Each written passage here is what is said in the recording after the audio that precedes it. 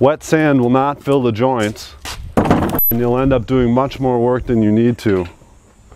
It's much more efficient to dry your sand prior to filling the joints. We usually do this by finding a place in the street or possibly even a customer's garage where you can just go ahead and spread the sand.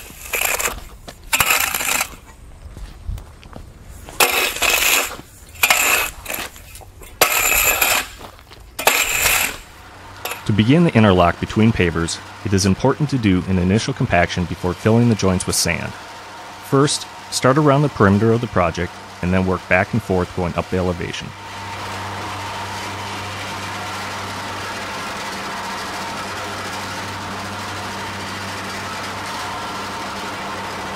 During initial compaction, the person compacting should mark the broken pavers while another person follows replacing them.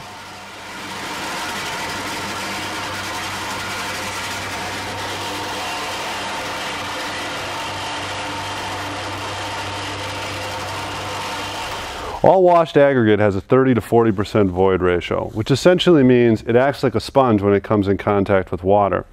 To show you how important it is to dry out your joint sand, we have some typical sand here that hasn't been dried.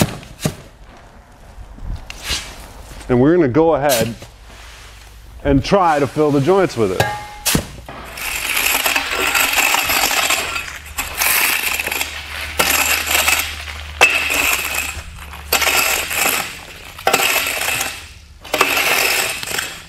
Now on the other side of our driveway, we're using the sand that we've already pre-dried since this morning to show you the difference between a damp wet sand and sand that you put out to dry and how easy one is to use in comparison with the other.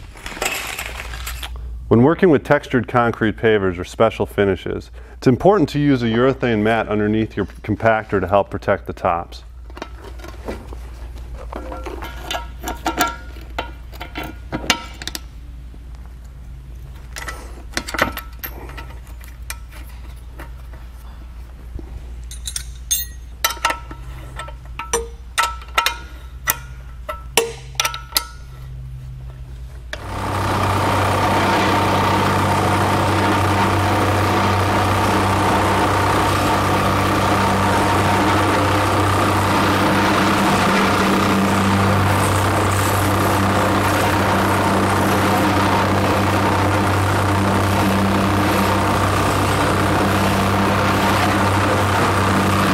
After over 10 passes, you can see we haven't even come close to filling these joints. The wet sand simply doesn't want to get into the joints. Another problem with using damp sand is it tends to cake over the pavers, giving us a false height over the top of our pavers.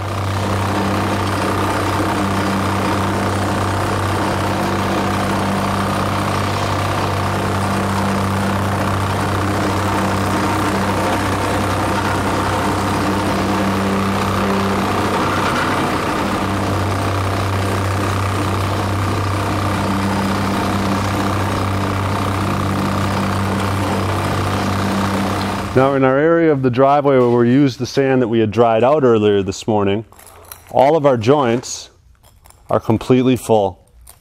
These joints were filled in two passes compared to the area where we did damp sand. You can see where you drying out your sand is going to save you in labor cost, it's going to make you faster, more efficient, and ultimately make you more money.